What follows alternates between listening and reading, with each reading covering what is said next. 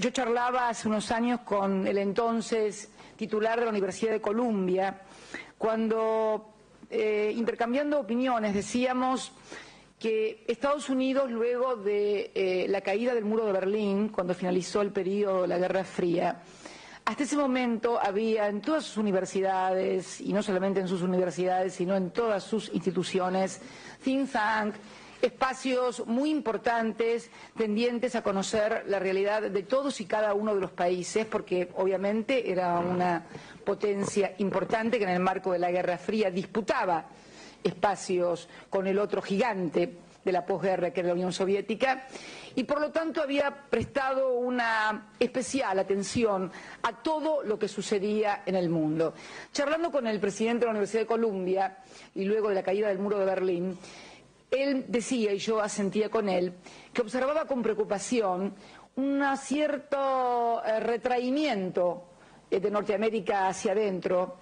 eh, especialmente como que a muchos norteamericanos, inclusive catedráticos o académicos, se habían vuelto hacia adentro y que ya no les interesaba tanto lo que pasaba afuera, sino fundamentalmente lo que pasaba adentro de los Estados Unidos. Yo dije, bueno, la verdad que es una mala noticia, tanto tiempo pelear para ser primer país del mundo y luego me interesarse por lo que pasa en el mundo realmente no es bueno. Eh, por eso saludé con tanto eh, alegría la creación de esta cátedra argentina que permitirá poder acceder a intercambio de opiniones que nos permitan conocer qué es la República Argentina y cuál es su rol en la región. En principio me parece que para entender la Argentina, bueno, es hacer una suerte de paralelismos o una teoría de diferencias y similitudes con el propio país en el cual estamos, Estados Unidos. Sobre todo porque tenemos regímenes mm, constitucionales sumamente parecidos. Para ser más exactos, la Constitución argentina es una copia de la Constitución de los Estados Unidos. A fuerza de ser sinceros, no fuimos nada originales. Copiamos la Constitución de los Estados Unidos y luego se hicieron algunas modificaciones, pero que no difieren sustancialmente en cuanto a la forma de gobierno, un sistema presidencialista con un eh, control parlamentario a través de dos cámaras, con una corte independiente, esa fue la Constitución. Pero en realidad eh, me gustaría comparar los 200 años de nuestra historia con los un poquito más de 200 años de la historia de Estados Unidos, porque muchos se preguntarán cómo puede ser que Argentina, un país octavo en materia de espacio territorial, con innumerables recursos naturales, riquezas, con eh, recursos humanos altísimamente calificados, haya tenido tantas crisis recurrentes. Y a mí me gusta con esto hacer una similitud con la historia de los Estados Unidos. Yo creo que ambos nacimos como colonias, ambos países, unos colonias del Imperio Británico, otros colonias del Imperio Español. Nuestro desarrollo de independencia fue un poquito antes el de Estados Unidos, pero en términos históricos fue prácticamente en la misma etapa. Era un mundo imbuido de los ideales libertarios, de democracia, de independencia de las colonias, de autonomía de las sociedades, etcétera, etcétera. ¿Qué fue lo que realmente eh, no permitió que, por ejemplo, eh, Argentina, que supo ser durante la década de los años 50 primera eh, economía latinoamericana, primer PBI latinoamericano, haya tenido tantos problemas en su historia. Bueno, creo que se debe a cosas propias, a errores propios, a concepciones que pasaron en nuestro país y también a interacciones que hubo en América en general, también de parte de Estados Unidos en su rol eh, de potencia mundial y también con un rol preponderante en América Latina. Yo marco un punto de inflexión eh, que es, eh, para que ustedes comprendan, lo que fue la guerra de secesión aquí, en los Estados Unidos, y lo que fue, por ejemplo, la batalla de Caseros en mi país, la República Argentina. Ustedes dirán, ¿qué fue la batalla de Caseros? Bueno, la batalla de Caseros eh, fue, resultó derrotado un proyecto de país eh, incipiente que luchaba por eh, agregar valor a sus productos, por industrializar sus productos. Sus productos salían prácticamente como materia prima sin ningún valor agregado hacia Inglaterra, donde se agregaba valor y por lo tanto éramos meramente productores de materia primas y de commodities. Todo esto comenzó a cambiar a partir de que la llegada eh, al gobierno de una serie de hombres y mujeres, tal vez la figura más representativa, yo sé que esto va a causar polémicas en mi país, pero estoy acostumbrada y además las polémicas son buenas, hacen bien a lo académico. Para venir a decir cosas que estén todos de acuerdo, la verdad es muy aburrido. Eh, Rosas, con sus oscuros y sus claros, porque no hay hombre en la historia que haya hecho historia que no tenga claros y oscuros. El único que no tiene claros y oscuros es Dios y está en el cielo. Eh, no puede hacer política caternal con los hombres. Lo cierto es que él y otros eh, hombres creían necesario agregar valor a nuestros productos, a nuestros cueros, que no fueran cueros crudos a Estados Unidos para ser devueltos en botas, en talabartería, en lo que era la industria la carne, por ejemplo, se exportaba ganado en pie a Inglaterra, eh, ellos querían obviamente salarla en la Argentina, tratar los cueros en la Argentina, etcétera, etcétera. ¿Qué tiene que ver esto con la guerra de secesión, dirán ustedes? Y es muy simple. El drama, eh, más allá de la anécdota de la cabaña del tío Tom, en la cual eh, le contaron al mundo que en realidad la gran lucha era para liberar de la esclavitud, que fue algo muy importante, pero fíjense ustedes, cuando libera a Estados Unidos de la esclavitud y la Argentina también fue las primeras medidas cuando fue eh, desde 1810, en 1813 liberan los esclavos. En realidad, la guerra de secesión tuvo como escenario una discusión de modelo de país en los Estados Unidos, claramente. El sur, de los que plantaban algodón, que sostenían la esclavitud, que querían ser un país exportador de materias primas, tener mano de obra barata, por eso los esclavos, y el norte, el de Lincoln, el del general Washington, que querían a los negros trabajando en las fábricas, eh, agregándole valor al algodón que cultivaban en el sur y además con sueldos que le permitieran comprar las camisetas y desarrollar o camisas o ropa y desarrollar un fuerte mercado interno, una industria un país que no solamente produjera recursos que los tienen y también en mucho eh, aquí en Estados Unidos, sino que además agregara valor a sus productos. Bueno, eh, aquí venció el general Washington y no el general Lee. Y allá eh, en Estados, en, en, mi país, no le voy a decir el nombre del general que venció porque seguramente si no hay nadie polémicas, pero venció el homónimo digamos, del general Lee, de los que querían realmente ser una perla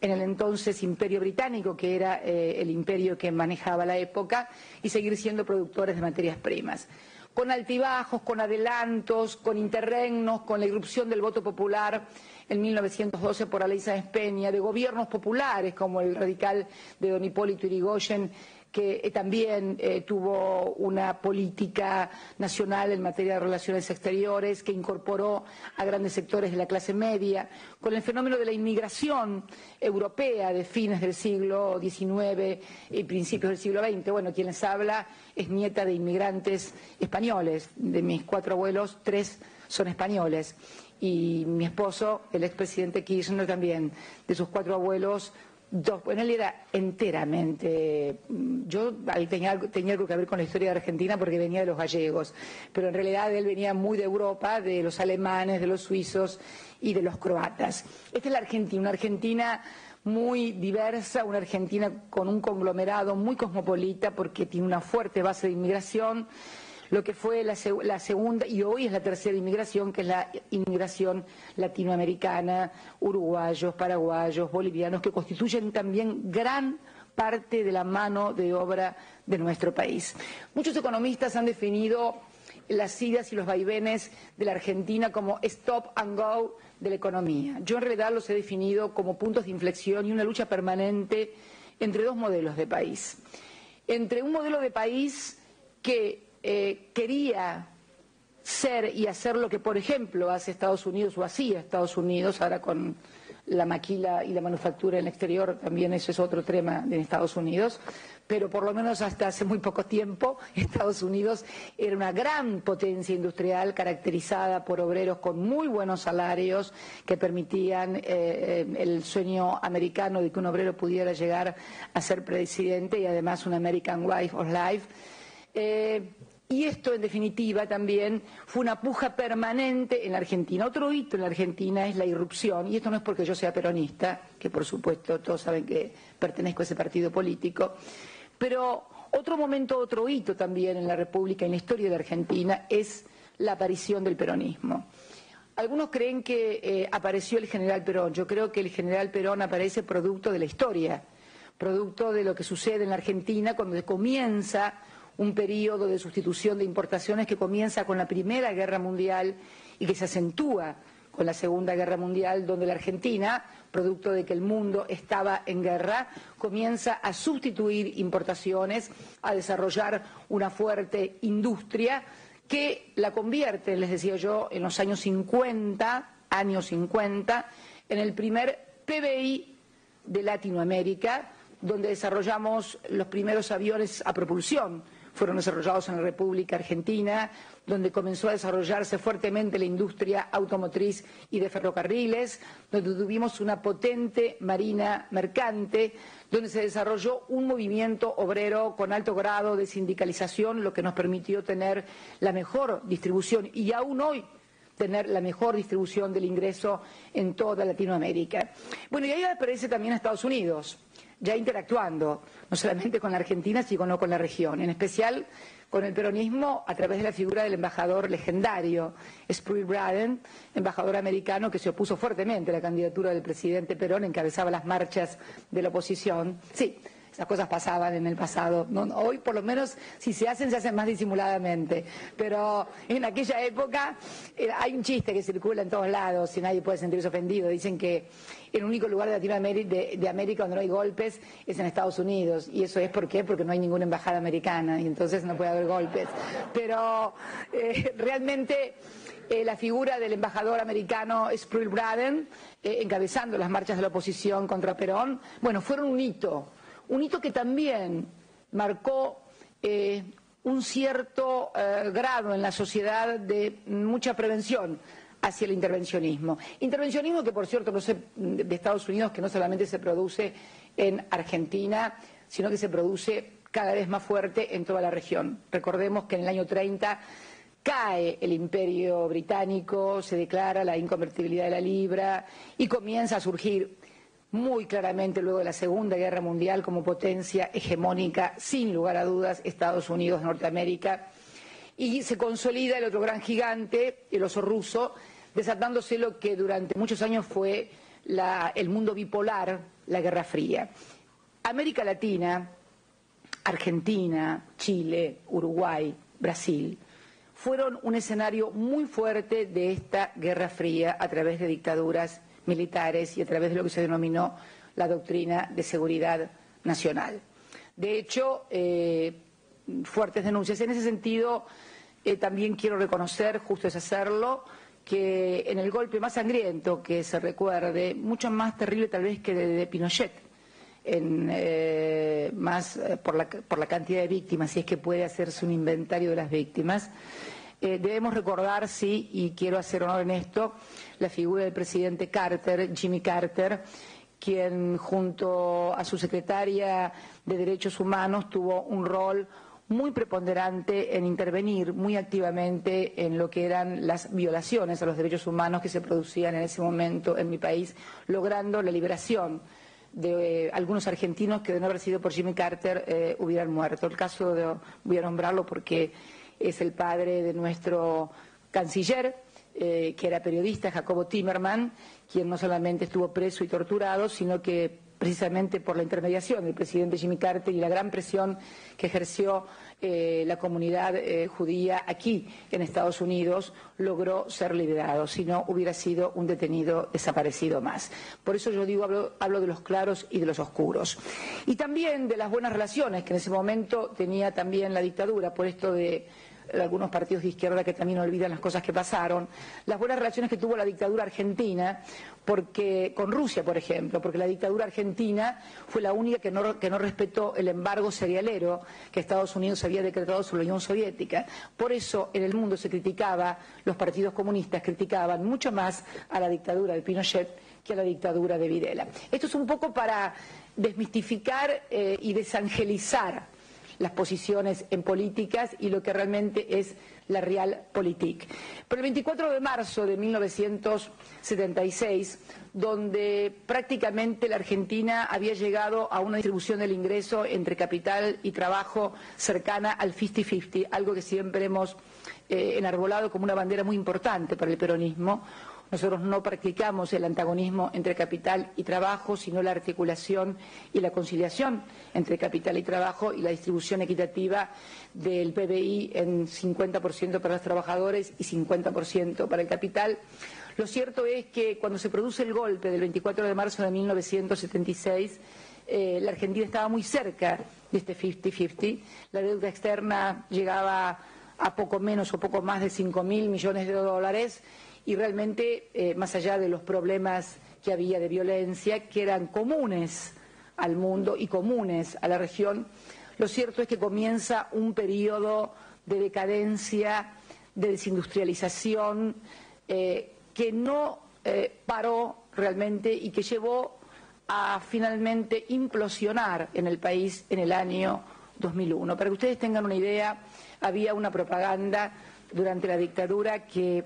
era un señor que se sentaba en una silla que decía hecha en Argentina, made in Argentina, y la silla se rompía. Se sentaba en una que decía made in China, made in USA o made in Germany, y la silla era buena y resistente. Yo esto lo conté una vez en Alemania. Los alemanes me miraban con los ojos así porque no podían creer que en un país alguien hiciera propaganda en contra de productos producidos por su propio país y favoreciera la venta eh, de productos producidos por otros países, por una razón muy fundamental, no por una cuestión de patrioterismo o xenofobia, sino simplemente porque sabemos que es trabajo que no van a tener nuestros compatriotas, ni inversiones que van a poder hacer nuestros empresarios, y estamos importando eh, trabajo y generando hambre y miseria. Pero esta es la realidad. Luego vino la década del 80, a la que muchos llaman la década perdida no solamente para la Argentina, sino para toda la América Latina. Alguien hablaba el otro día de los bonos Brady. Yo creo que fue perdida para algunos, para los que estábamos en América Latina, para los que estaban en el norte y recibieron los bonos Brady fue de ganancia total y absoluta. Así que habría que definir esto de la década perdida para quiénes fue perdida. Fue perdida para nuestras sociedades, sin lugar a dudas, que tuvieron que hacerse cargo de la crisis de transferencia de capitales que había en el mundo en ese momento producto del precio del petróleo, vamos a decirlo con todas las letras.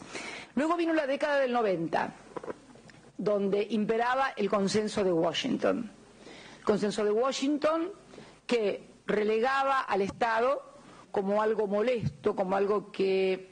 molestaba a la producción, a la economía, como algo que debía ser velado, desregulaba, desregulaba medias, porque en realidad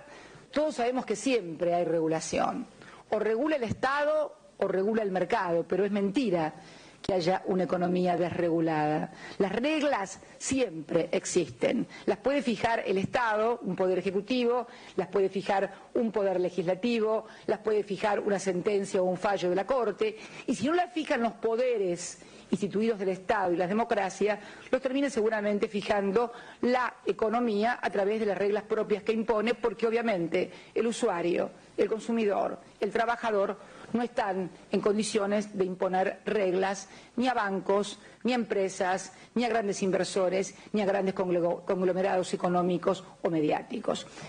Esta década del 90, la deuda, eh, además, se caracteriza por la aparición de una teoría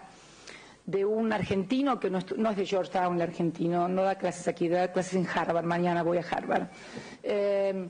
donde se establece la teoría de la convertibilidad. ¿Qué es la teoría de la convertibilidad? La teoría de la convertibilidad es que un peso es igual a un dólar. Dicho así, ustedes me dicen, esta mujer, ¿qué le pasa? ¿Qué, qué está diciendo? ¿Cómo que un peso argentino es igual a un dólar? Si la unidad monetaria, no sé si habrá estudiantes de economía, seguramente que sí, eh, si la unidad monetaria de un país expresa el tamaño y el peso de una economía, está claro que un peso nunca puede ser igual a un dólar. Basta mirar nada más la economía y el tamaño de la Argentina y por otro lado el tamaño y el peso de quien constituye o constituía hasta hace muy poco tiempo entre el 25 o el 30% del PBI a nivel mundial, desarrollo tecnológico, poderío militar, económico, financiero, para ver que estábamos ante una economía ficcional. Pero esta economía ficcional, ¿cómo se sostuvo? Se sostuvo con la venta de activos, de todos los activos eléctricos, petróleo, gas, se privatizó absolutamente todo. El único país,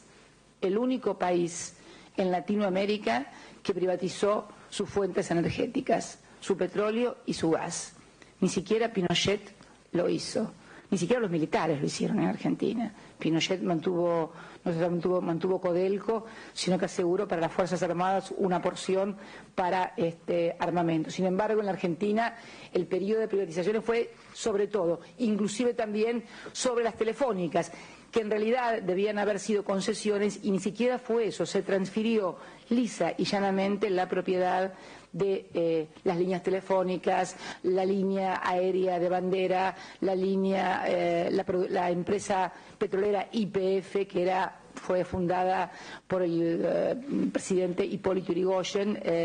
y liderada emblemáticamente por el general Mosconi, un militar también al frente de ella. Y todo esto fue sosteniendo la venta de estos activos más el endeudamiento. La Argentina, cuando implosiona en el año 2001, porque se sigue sosteniendo el régimen de la convertibilidad durante el gobierno que mm, sobrevino al del de, eh, expresidente Menem, el gobierno de la Alianza, implosiona porque, bueno, llegó a tener una deuda en relación a su PBI del 160%. Este fenómeno que hoy observamos en la eurozona, en algunos países de la eurozona, con una relación entre PBI y deuda monstruoso, eh, se dio en la República Argentina, en términos realmente que provocaron el default más grande del que se tenga memoria en el año 2001 y que provocó que tenían, porque los bancos no los devolvieron, eh, se emitieron bonos, eh, hubo un 25% de desocupación, quebraron empresas. Yo me acuerdo que era senadora y salía muy tarde por la noche del Senado para ir a mi casa y pasaba todas las noches por el consulado de España, eh, por allí vi, afuera había una bandera española, y pasaba por el consulado de España y había colas que daban la vuelta y vuelta porque se iban del país. De hecho, se fueron miles y miles de argentinos a España y a otros lugares en busca de otros horizontes. Eh, en el año, el Fondo Monetario, que durante el año, durante toda la década del 90 había exhibido al gobierno argentino como un modelo, a punto tal que lo invitaba a sus asambleas anuales para dar eh, conferencias, como la que yo estoy dando ahora, aquí lo invitaban al Fondo Monetario,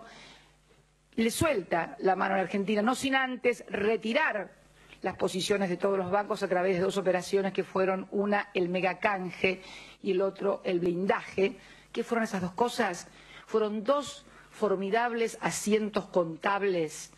de presuntos préstamos que los bancos daban a la Argentina de 30 mil millones de dólares o 10 mil millones de dólares o 20 mil millones de dólares, que en realidad nunca ingresaron a la Argentina, sino que simplemente servían para que quienes habían colocado dólares en la Argentina a una tasa anual del 16%, cuando en el mundo se pagaba solamente el 2%, pudieran retirarse. Si uno lee los diarios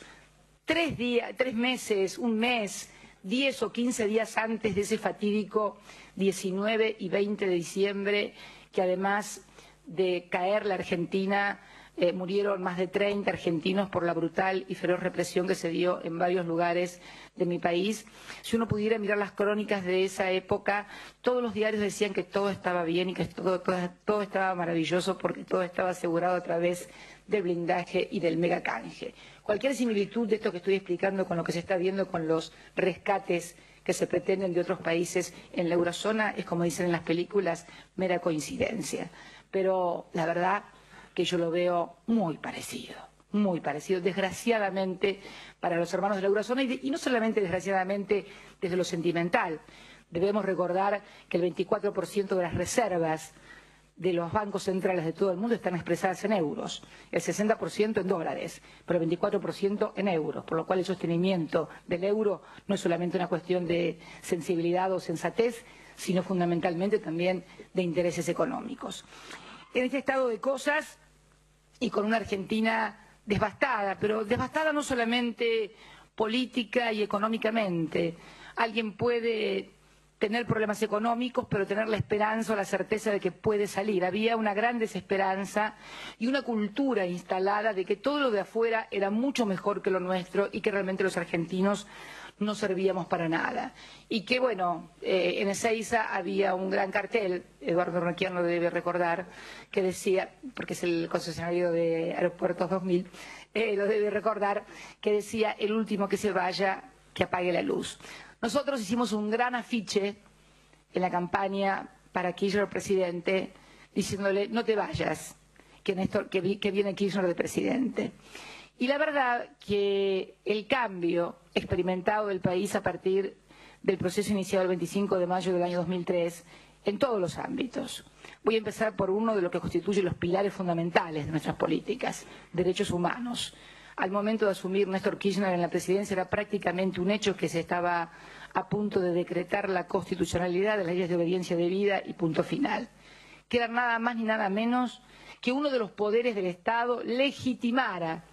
legitimara la tortura, la desaparición, el asesinato, el terrorismo de Estado, en definitiva. Hoy Argentina con los jueces de la Constitución, en el marco de la Constitución, es un ejemplo en el mundo en materia de ejercicio y respeto de los derechos humanos y de juzgamiento de aquellos que fueron responsables de las atrocidades que se cometieron durante la dictadura. Todo en el marco de las leyes, con todas las defensas, garantías y derechos que no eh, damos alegremente, sino que le corresponden a cualquier ciudadano, aún al que más haya delinquido en el marco de la Constitución y creo que de valores occidentales que no son comunes a todos los países. En materia económica,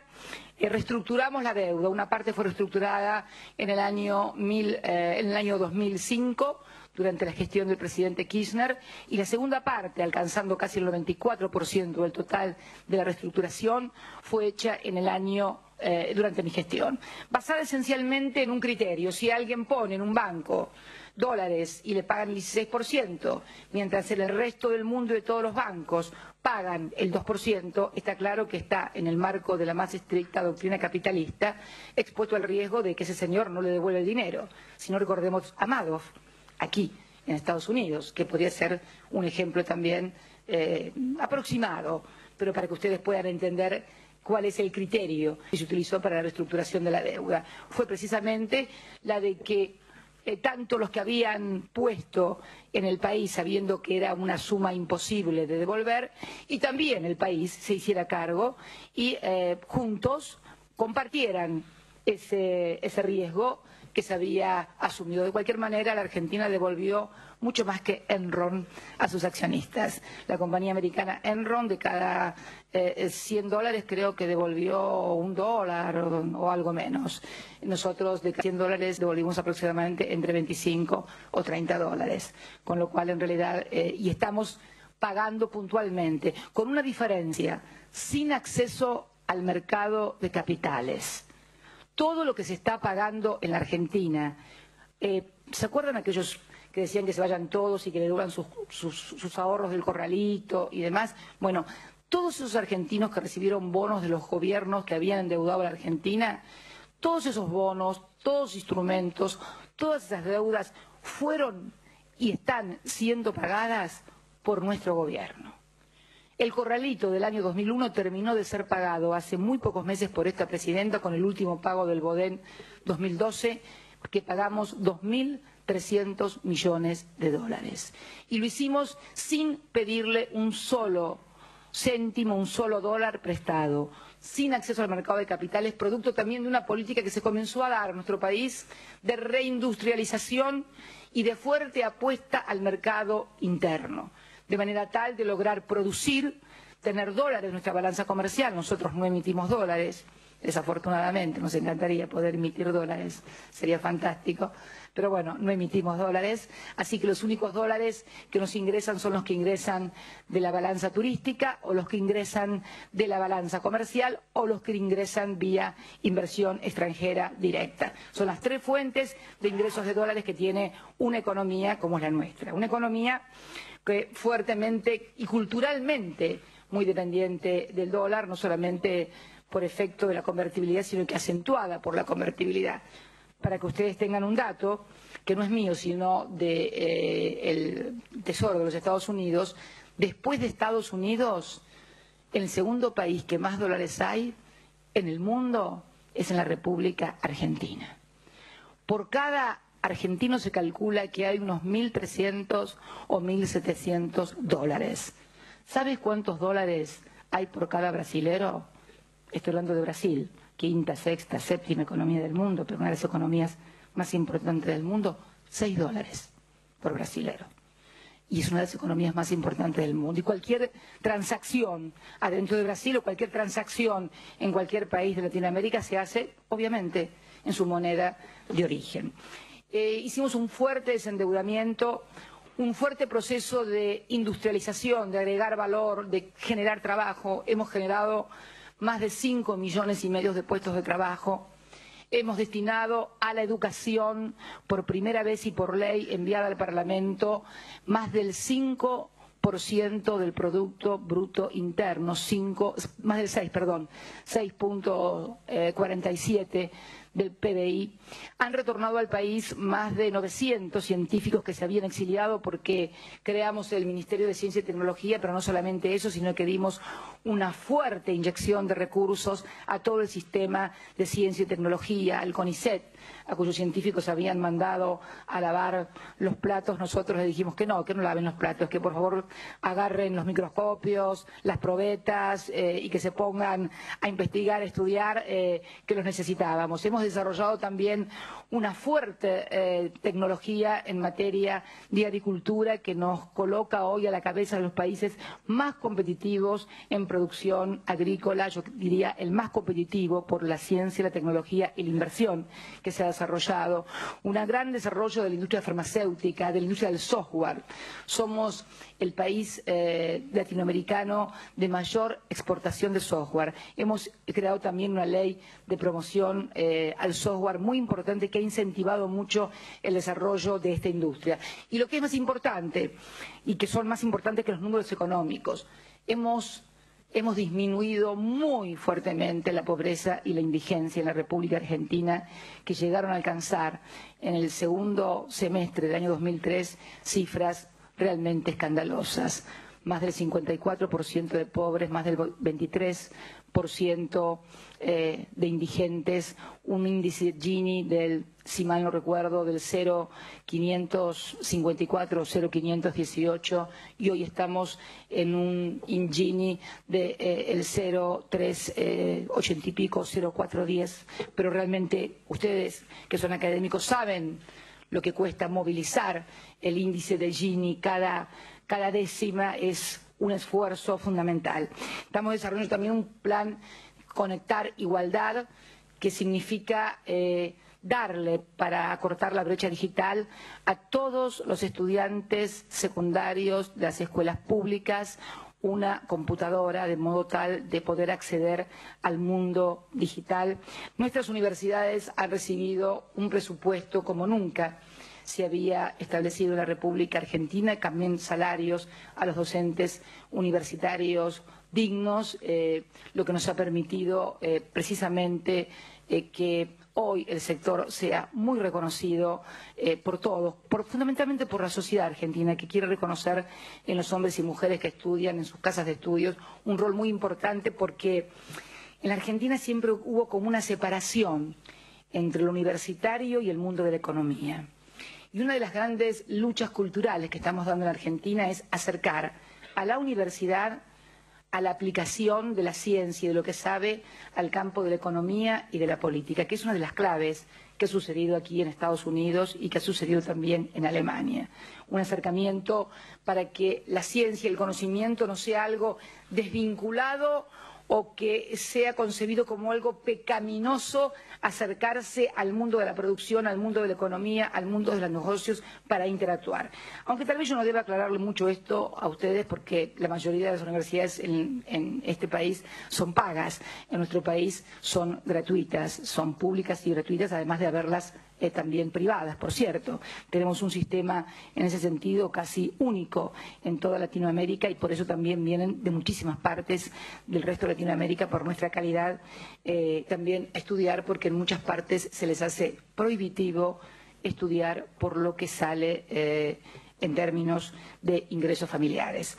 Yo no quiero seguir hablando porque si no le voy a restar tiempo seguramente a las preguntas que los alumnos o los profesores quieren hacer. Pero lo cierto es que estamos ante una Argentina sustancialmente diferente, en un mundo también sustancialmente diferente. Nos hemos también cancelado la deuda del Fondo Monetario Internacional, lo que nos ha permitido lograr autonomía en nuestras políticas. Eh, creo que además hemos logrado eh, que nuestros trabajadores tengan hoy el mejor, esto, esto los empresarios por ahí no le gusta mucho porque dice que pierden competitividad, pero lo cierto es que los salarios de los trabajadores argentinos son los mejores salarios de toda Latinoamérica. Y no estoy hablando solamente en términos nominales, sino medidos por el Fondo Monetario Internacional o por CEPAL en términos de paridad de poder adquisitivo, que es como debe medirse el salario, no solamente en términos nominales, sino en paridad de poder adquisitivo. Y, en fin, Estamos haciendo una tarea de recuperar a la Argentina junto a una tarea también de recuperación de la región. No quiero hablar solamente de Argentina, quiero hablar también de mis compatriotas latinoamericanos, americanos del sur fundamentalmente. Se han constituido órganos importantes como la UNASUR, que nos ha permitido resolver conflictos que se habían producido en la región y que amenazaban las instituciones democráticas sin recurrir a los mecanismos multilaterales formales que no han sido muy eficaces y eficientes a la hora de conjurar golpes o atentados contra la democracia. Y realmente hemos construido, más allá de las diferencias y los distintos matices, visiones y percepciones de los distintos mandatarios de la región, espacios comunes en los cuales debatir, escucharnos y adoptar soluciones. Tres ejemplos para terminar. Cuando se produjo la crisis eh, de Bolivia, donde hubo un claro intento destituyente sobre el presidente Evo Morales y hechos violatorios de los derechos humanos en la región de Pando. Me acuerdo que era presidenta de la República de Chile, Michelle Bachelet, y juntas eh, armamos la reunión de la moneda convocando a los países latinoamericanos para de América del Sur, de la UNASUR, para apoyar a Evo Morales. Y, y conformamos una comisión de derechos humanos que fue a visitar el país para verificar las violaciones que se habían cometido. Y realmente conjuramos y creo que ayudamos a la construcción de la democracia regional, porque entendemos que el atentado contra una democracia de la región, aun cuando no sea de nuestro propio país, es francamente desestabilizadora de la región. De la misma manera, actuamos cuando sucedió lo de Correa en Venezuela ante el intento de una rebelión policial que también escondía claramente un intento destituyente y en menos de 24 horas en Buenos Aires, en el Palacio San Martín, sede de la Cancillería, se reunieron presidentes y cancilleres en forma inmediata en menos de 24 horas y esto se conjuró. Y finalmente quiero terminar a modo de homenaje también con eh, la resolución de la crisis tal vez más fuerte que tuvo la región eh, en los últimos años, que fue el enfrentamiento que se sucedió. También intervenimos cuando fue entre Colombia y, Ecuador, pero tal vez el más grave de todos que fue cuando se produjo un fuerte enfrentamiento entre Colombia y Venezuela y le tocó actuar al entonces secretario general de la UNASUR, doctor Néstor Kirchner en una muy silenciosa, discreta pero efectiva acción diplomática que logró acercar definitivamente a ambos países, a ambos presidentes y conjurar lo que habría sido algo catastrófico para la estabilidad de la región, como hubiera sido un enfrentamiento entre las hermanas repúblicas de Venezuela y de Colombia. Este es el panorama, el pantallazo de Argentina y el pantallazo de la región que todos ustedes también conocerán. Sobre el mundo no voy a hablar porque esta es la cátedra argentina. Sobre el mundo se lo dejaros de Harvard mañana porque si no voy a tener que repetir exactamente todo lo mismo y va a ser muy aburrido para mí y para los que me acompañan. Además yo cuando tengo que repetir muchas veces las mismas cosas me aburro y, finalmente no me gusta. Siempre me gusta eh, desafíos nuevos y cosas nuevas, pero me parecía que era importante en esta presentación de la cátedra argentina hacer veloz un veloz repaso de nuestra historia, de nuestros puntos en comunes, de nuestras conflictividades, de nuestras interactuaciones entre Estados Unidos y Argentina, Estados Unidos y la región, entre la historia de la Argentina y la visión que tenemos quienes eh, hoy gobernamos la Argentina, que seguramente no será la visión de todos los argentinos, pero que es, sin lugar a dudas, la que tiene esta presidenta que fue votada por el 54% de los votos luego de ocho años de gestión. Ustedes dirán, bueno, es lo mismo que... No, no es lo mismo. Cuando a él lo votaron, cuando llegó a presidente, solo el 22% de los argentinos, porque no hubo segunda vuelta y no hubo posibilidades de revalidar esa legitimidad que necesitaba. Y con ese 22%, y el país envuelto en llamas logró la transformación política, económica, social y educativa más importante de la que se tenga memoria y con la escala que se la mida. Allí está el nivel de endeudamiento que hoy ronda aproximadamente entre el 13 y 14% del PBI. ¿Se acuerdan que dije que al principio debíamos 160% del PBI? hoy la deuda real, real del sector público con el sector privado eh, es del 3 y el 14 y en dólares no llega a los dos dígitos, entre un 8 y un 9%. Acumulación de reservas como nunca habíamos tenido, lo cual nos permite mantenernos hasta ahora a salvo de las contingencias y fluctuaciones de los mercados internacionales con las permanentes subas eh, y bajas entradas y salidas de capitales sin ningún tipo de regulación. Y quería decirles que lo hizo todo eso con el 22% de los votos. Eh, cuando fuimos a elecciones el año pasado, este proyecto que es el mismo, no, y no, que no es el mismo porque yo sea la esposa de él, sino porque somos militantes políticos desde hace mucho tiempo, que compartimos una misma visión del país, una misma visión del mundo y de lo que debe ser la política como un instrumento de cambio y transformación de las sociedades. Y luego de ocho años de gestión, luego de ocho años de gestión, obtuvimos el 54,11% de los votos y el segundo candidato, el que más cerca, creo que no llegó al 20%.